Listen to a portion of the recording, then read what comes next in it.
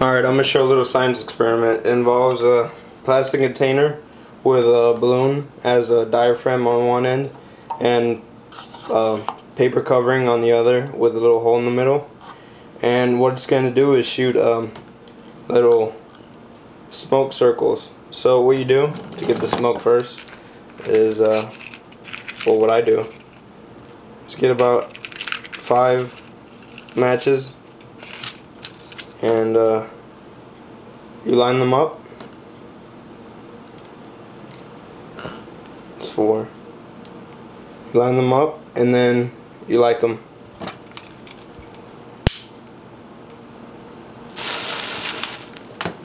Oh, it's hot. And then you let it burn for a little bit and you blow it out.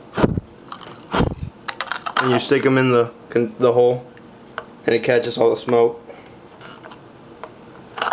So you do that and then you got little smoke circles.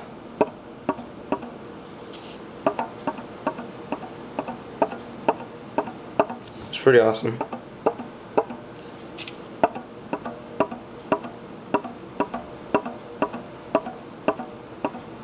So yeah, I'm just hitting the back of it really gently and it shoots little circles.